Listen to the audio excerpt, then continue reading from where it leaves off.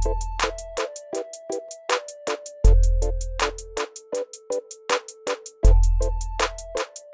everyone welcome to the new video स्वागत है भाइयों आपका आज के इस नए वीडियो में। आज की वीडियो में भाई हम लोग बात करने वाले महिंद्रा थार रॉक्स की MX5 वाले वेरिएंट के बारे में, कि गाड़ी में आपको क्या फीचर्स मिलता है, गाड़ी की प्राइसिंग वगैरह क्या है, सबके बारे में भाई आज की इस वीडियो में हम लोग डिस्कस करने वाले तो आपने अभी तक हमारे चैनल को अगर सब्सक्राइब नहीं किया तो चैनल को सब्सक्राइब कर ले और वीडियो को लास्ट तक ज़रूर देखे, क्योंकि इस वीडियो में भाई आपको पूरी इन्फॉर्मेशन मिलने वाली है कि भाई ये गाड़ी आपको लेना चाहिए या नहीं। Most value for money variant ये है या कोई और वेरियंट है। तो चलिए वीडियो को स्टार्ट करते हैं। तो सबसे पहले शुरुआत करते हैं इसकी चाबी से। तो कीज देख सकते हो भाई, कुछ ऐसा आपको महिंद्रा का कीज देखने को मिलेगा। एक फ्लिप की भी आपको मिल जाती है, बाकी यहाँ पे आपको लॉक, अनलॉक और आपका बूट के लिए दिया गया है। तो गाड़ी की अगर फ्रंट प्रोफ़ाइल की बात की है ना तो फ्रंट से भाई गाड़ी कुछ ऐसी दिखती है। यहाँ पे आपको एलईडी लाइट्स के सेटअप देखने को मिलते हैं और एलईडी डीआरएल भी आपको इसमें दिया गया है। यहाँ पे देख सकते हो आपको इंडिकेटर का पूरा सेटअप दिया गया है। ग्रिल कुछ ऐसी आपको मिलती है, टॉप एंड वेरेंट और ये जो वेरेंट है ना, ग्रिल में आपको कोई भी डिफरेंस देखने को नहीं मिलता। सेम आपको दोनों में वही ग्रिल मिलती है। ये साइड भी सेम आपको लाइट्स के सेटअप देखने को मिलते हैं। एलईडी लाइट विद एलईडी पूरी आपकी हेडलाइट वगैरह दी गई है। यहाँ पे आपको इंडिकेटर हो गए। पार्किंग सेंसर्स की अगर बात की है तो आगे के साइड आपको इसमें दो पार्किंग सेंसर्स देखने को मिलते हैं। बाकी नीचे के साइड आपको यहाँ पे फॉग लैम्प दी गई है। ये साइड भी आपको सेम पूरा सेटअप दिया गया है। ये जो अपना एम वाला वेरियंट है ना, इसमें आपको एडास वगैरह कुछ नहीं मिलता है। बाकी फ्रंट प्रोफ़ाइल गाड़ी की कुछ ऐसी है। साइड प्रोफ़ाइल की अगर बात की है तो साइड से आपको कुछ महिंद्रा थार रॉक्स एम वाला वेरियंट जिसमें आपको फेंडर पे ही इंडिकेटर दिया गया है। और अगर इसके टायर प्रोफ़ाइल की बात की है तो एटीन इंचेस के आपको इसमें टायर्स मिलते हैं। साथ ही में एलवाइज का डिज़ाइन देख सकते हो। थोड़ा सा अलग है। जो टॉप एंड वेरेंट में जो आपको एलवाइज मिलता है ना, उसमें और इसमें भाई थोड़ा सा डिफरेंस है।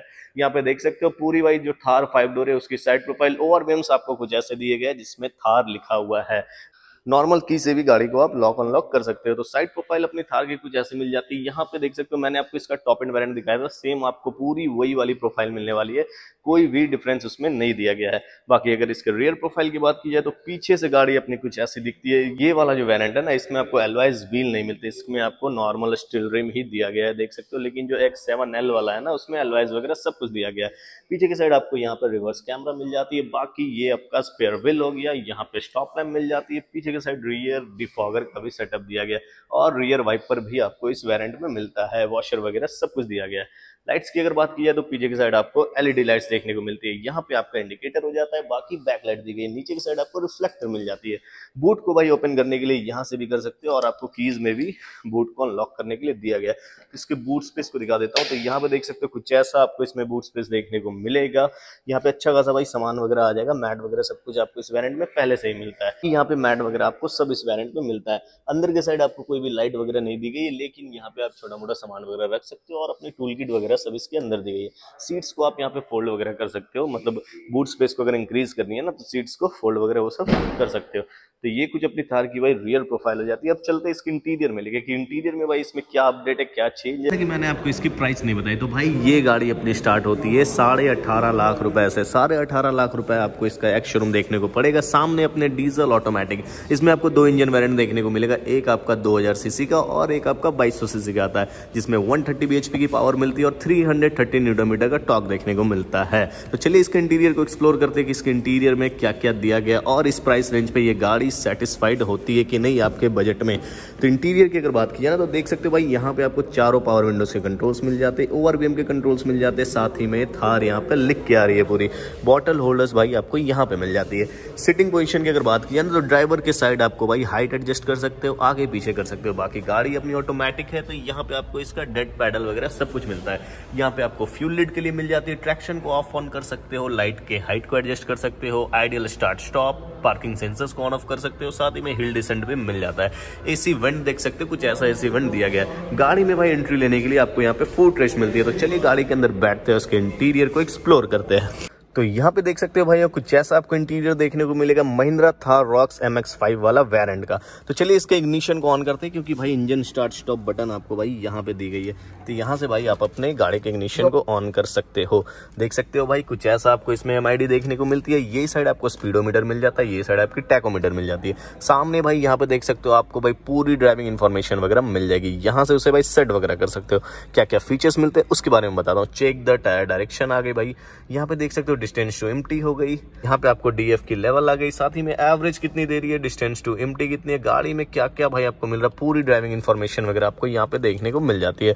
ऑटो हेडलाइट का आपको इसमें फीचर देखने को मिल जाता है। साथ ही में भाई यहाँ पे ऑटो रेन सेंसिंग वाइपर भी मिल जाती है। महिंद्रा का लोगो आपको यहाँ पे मिलता है और क्रूज कंट्रोल वगैरह जितने टेलीफोनिक कंट्रोल्स है ना, आपके इन्फोटेनमेंट सिस्टम के सब कुछ भाई आपको यहाँ पे दिया गया है। तो ये कुछ ऐसा आपको इंटीरियर इसमें देखने को मिल जाता है। एसी वेंट आपको कुछ इस डिज़ाइन में मिल जाते हैं। एसी के भाई आपको यहाँ पे कंट्रोल वगैरह दिए गए मैनुअल ही कर सकते हो। ऑटो एसी का फीचर आपको इस वेरियंट में नहीं मिलता है। यहाँ पे एसी के डायरेक्शन वगैरह कर सकते हो। डिफॉगर फ्रंट और रियर दोनों के साइड मिलते हैं। यहाँ पे आपको ड्राइविंग मोड्स मिल जाती है। साथ ही में यहाँ पे पैसेंजर एयरबैग को ऑन ऑफ़ करने का दिया गया। नीचे के साइड आपको wireless charger type C charging मिल जाती है और एक बी टाइप मिल जाती है। गियर बॉक्स भाई आपको इसमें ऑटोमेटिक मिलता है। यहाँ पे सामान वगैरह रख सकते हो, देख सकते हो। पूरा इंटीरियर दो कप होल्डर्स पार्किंग ब्रेक आपको मैनुअल दी गई है। आर्म रेस्ट को यहाँ से भाई आप आगे पीछे कर सकते हो और यहाँ पे अपना स्टोरेज भी मिल जाता है। आगे की साइड भाई आपको डैशबोर्ड में ना यहाँ पे देख सकते हो, कुछ ऐसा ग्लब बॉक्स मिलता है, छोटी है थोड़ी सी लेकिन काम चल जाएगा। यहाँ पे ग्रैब हैंडल्स वगैरह मिल जाते हैं। वो साइड भी सेम सेटअप दिया गया है। पावर विंडोज़ के controls AC vent grab handles वगैरह दिया गया यहाँ पे आप देख सकते हो, आपको वाइजर वगैरह मिल जाते हैं। मैंने आपको इसके इन्फोटेनमेंट सिस्टम के बारे में नहीं बताया था। देख सकते हो, कुछ ऐसा आपको इसमें इन्फोटेनमेंट सिस्टम देखने को मिलेगा, जो कि Android Auto Apple CarPlay wireless navigation सब कुछ सपोर्ट करेगा। लेकिन आपका जो एप्पल कार प्ले है ना, वो भाई आपको वायरलेस नहीं होगी, वो वायर्ड थ्रू होगी। इसमें बहुत सारे आपको कंट्रोल्स वगैरह मिल जाते हैं रिवर्स वगैरह कर सकते हो रिवर्स कैमरा मिल जाता है। साथ ही में यहाँ पे देख सकते हो पूरे फीचर्स वगैरह की अगर बात की जाए ना, फिर ड्राइविंग के लिए पूरा आपको दिया गया फ्यूल इन्फो वगैरह मिल जाती है। ये देख सकते हो स्टेयरिंग व्हील को वो इंजन टेम्परेचर हो गया अलाइनमेंट वगैरह होगी। पिच आपकी क्या है रोल क्या ये आपको ऑफ़ में काम आने वाली। साथ ही में यहाँ पे टैकोमीटर वगैरह, वो सब भी डिजिटल में आ जाती है।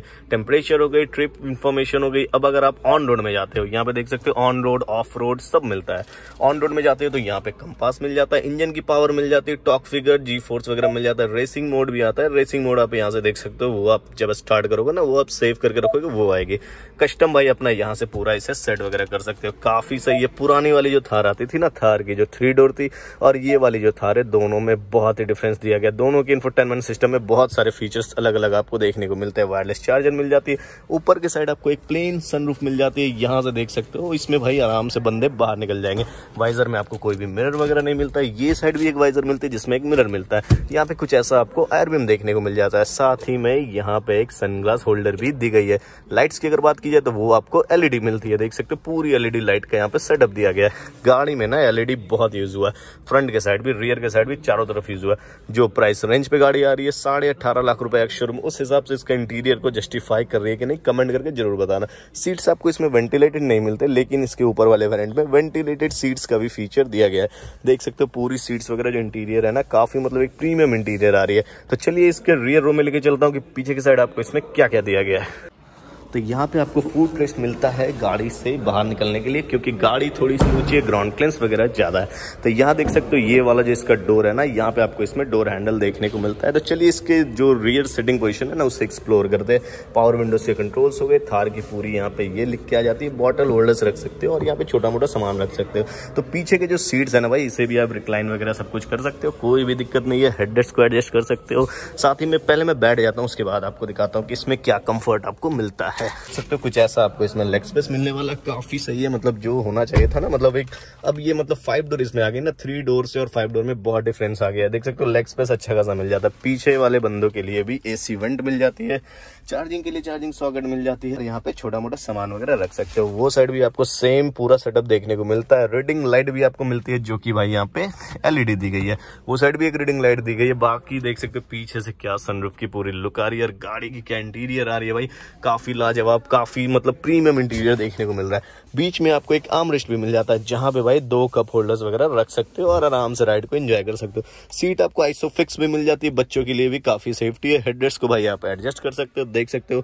और जो बीच वाला जो बंदा है ना, उसके लिए भी भाई यहाँ पे जगह दी गई है। मतलब ये है ना, पूरा फ्लैट दिया गया तो ये आपको कैसा लग रहा है? कमेंट करके ज़रूर बताना। ऐसे लगे भाई आपको महिंद्रा थार रॉक्स एम वाला वेरियंट जिसकी कीमत भाई साढ़े लाख रुपए है। तो ये और अगर आपको ये वीडियो अच्छी लगी हो तो चैनल को सब्सक्राइब करें वीडियो को लाइक करें। मिलते हैं फिर और किसी नए वीडियो में तब तक के लिए